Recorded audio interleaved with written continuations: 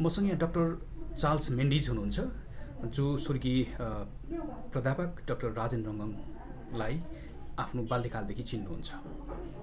उहाँका कतिपय शिक्षाहरू उहाँले आफ्नो जीवनमा पनि एप्लिकेसन गरिसक्नु भएको छ। उहाँले डक्टर राजेन्द्र रङ्गङलाई कसरी सम्झिनुहुन्छ? उहाँको विचार लिने कोसिस गरेका छौँ धन्यवाद।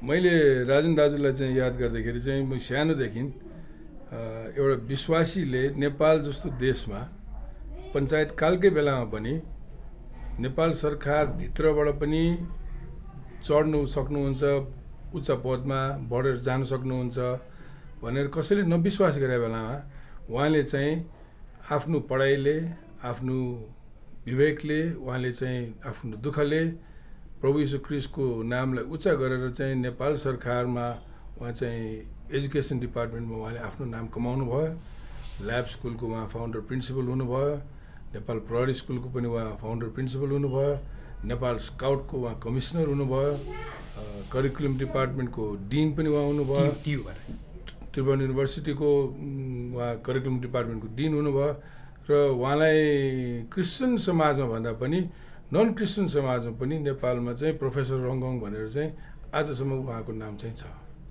उहाँको उहाँले त चर्चमा पनि त्यत्तिकै योगदान दिनुभएको छ नि त। नेपाली मण्डली ज्ञानेश्वर चर्चमा नाइन्टिन फिफ्टी सेभेनमा जब स्थापना भयो त्यतिखेरबाट नि उहाँले नेपाली चर्च नेपाली ज्ञानेश्वर नेपाली मण्डली ज्ञानेश्वर चर्च स्थापना थ स्थापनाको लागि ठुलो अथवा अहम भूमिका पनि खेल्नु भएन होइन उहाँले। उहाँले धेरै ठुलो रोल खेल्नु भएको थियो र उहाँ गभर्मेन्टमा भएको कारणले गर्दाखेरि उहाँले चाहिँ धेरै सतावट पनि भोग्नु भयो तर पनि उहाँले सपोर्ट पनि धेरै गर्नुभयो। जस्तै तपाईँलाई सम्झना छ उहाँले कस्तो खालको सतावट भोग्नुभयो? पर्सिक्युसन उहाँभन्दा जुनियर मान्छे प्रमोसन भएर जान्थ्यो। उहाँ क्रिस्चियन भएको कारणले उहाँको प्रमोसन रोकिन्थ्यो।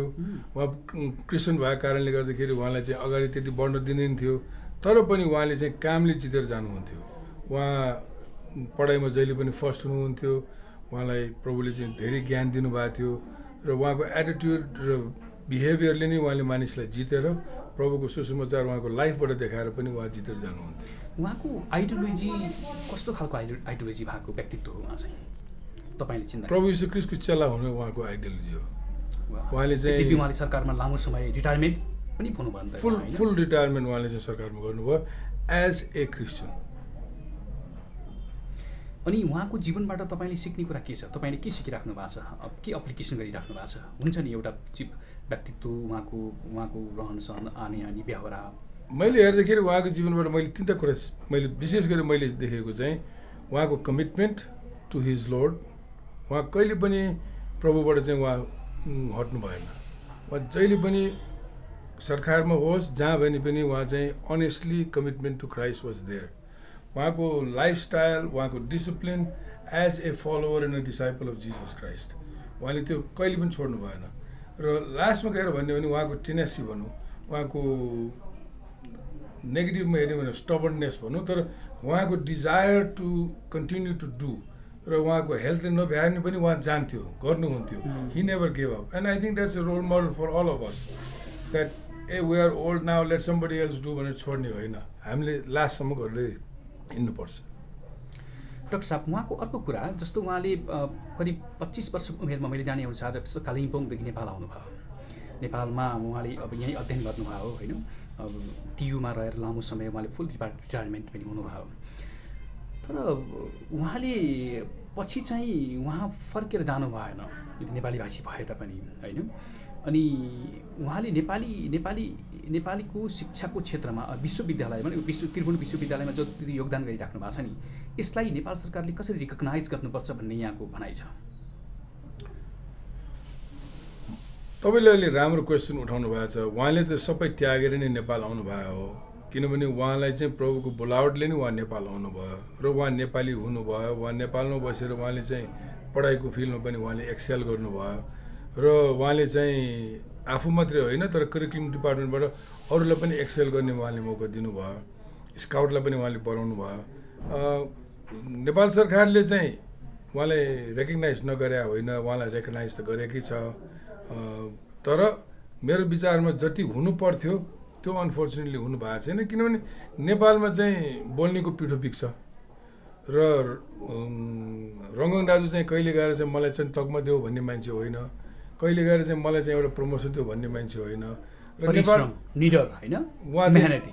मेहनती हो मेहनती हो। उहाँले गरे कहिले कसैबाट के माग्ने होइन। अनि त्यसले गर्दाखेरि नेपालमा चाहिँ आफ्नो चाहिँ बिकाइ आफूले गरेन भने यहाँ नेपाल सरकारले आएर चाहिँ तकमा दिएला रेकग्नाइज गर्ला भन्ने छैन। जसले गएर चाकरी गर्छ उसले पाउने हो। र that was against his philosophy तर पनि उहाँलाई चाहिँ मैले हेर्दाखेरि नेपालले चाहिँ उहाँलाई चाहिँ रिस्पेक्ट गरेकै हो। र नेपाल सरकारमा उहाँसँग काम गर्नेहरूले पनि उहाँलाई धेरै आदर गर्नुहुन्थ्यो। पञ्चायतकालदेखि इट्स नट जस्ट नाउ र उहाँलाई भोलि तपाईँ देख्नुहुन्छ होला स्काउटले पनि उहाँलाई आदर गर्नुहुन्छ नेपाल पुलिसले पनि गर्नुहुन्छ एजुकेसन डिपार्टमेन्टले पनि गर्नुहुन्छ किनभने he has left a mark in everybody उहाँले ज्ञानेश्वर चर्च मात्रै इस्टाब्लिस गर्ने उहाँको हात मात्रै होइन तर ज्ञानेश्वरबाट पाटन त्यो बेला चाहिँ अब बागमती खोला तर्नु पनि निकै लामो यात्रा जस्तो हुन्थ्यो।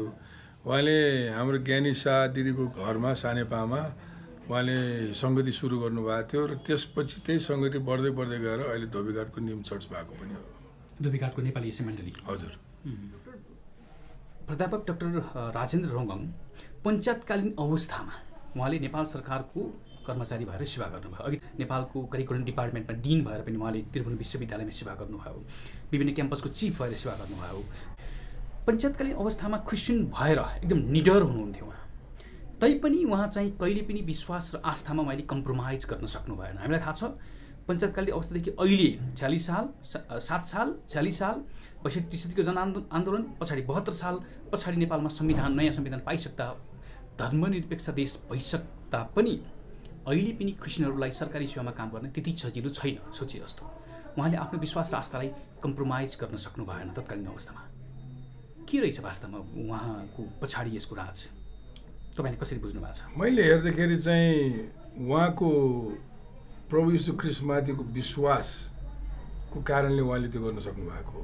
किनभने उहाँको विश्वास यति बलियो थियो उहाँ कुनै कुरामा चाहिँ निराश नहुने उहाँलाई चाहिँ डाउन गराएर चाहिँ पछि हटाउन नसक्ने र उहाँलाई कम्प्रोमाइज गराउन सक्ने स्थिति कुनै पनि आउन नसक्ने।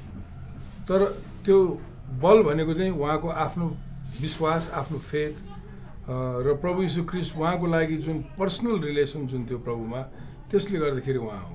उहाँले हेर्दाखेरि हामीले एउटा क्रिस्चियन भनेर हेरिँदैन थियो तर an educator who is a disciple of Jesus Christ र सबै उहाँको काम गर्नेहरू सबैले थाहा हुन्थ्यो he is different he did things different because of who he serve उहाँको प्रभु यीशु क्रिस्टको विश्वासले गर्दा उहाँ फरक हुनुहुन्थ्यो। र त्यसले गर्दाखेरि उहाँलाई चाहिँ सतावट आउँदाखेरि पनि मैले भोग्नुपर्ने हो भनेर उहाँले भोग्नुहुन्थ्यो र उहाँले चाहिँ सतावटबाट कहिले पनि भाग्नु भएन। आज नेपालमा हेर्दाखेरि अलिकति सतावटको कुरा आउने बित्तिकै मान्छे तर्सिन्छ। तर उहाँ जस्तो लिडर चाहिँ कहिले पनि सतावटबाट। हुनुहुन्थ्यो। उहाँ जेन्युवान लिडर हुनुहुन्थ्यो। आफ्नो आस्थाको विपक्षमा रहने हुने हुन आउने कुनै पनि कुरामा कम्प्रोमाइज कहिले पनि गर्नु। भएन त्यसो भए नेपाली क्रिस्चियन समुदायले उहाँलाई कसरी सम्झिनुपर्छ भन्ने लाग्छ तपाईँलाई? मैले हेर्ने हो भने नेपालको लागि एउटा ठुलो लस हो अहिले। यो बेलामा हामीलाई चाहिने लिडर एउटा हामीले गुमाउँदै अब कतिवटा क्रिस्चियन समाजभित्रको चाहिँ डिनोमिनेसनले अरू रूपमा हेर्छ। हामीले त्यो प्रचारले हामीले विश्वास गर्ने भएको भए उहाँलाई चाहिँ मैले चाहिँ भन्ने हो भने नेपालको चर्चको लागि हिज ए सेन्ट अन्तमा के भन्न चाहनुहुन्छ? अन्तमा चाहिँ यो दुःखद घडीमा अन्तमा यो दुःखद घडीमा चाहिँ उहाँले हामीलाई दिएको एक्जाम्पल र अहिलेसम्म हामीले हेर्दै आएको लाइफ चाहिँ त्यसको हामी पनि काबिल हुन सकौँ र उहाँले जसरी प्रभुलाई चाहिँ अगाडि बढाएर लानुभएको थियो हामीले पनि त्यही गर्न पाऊँ।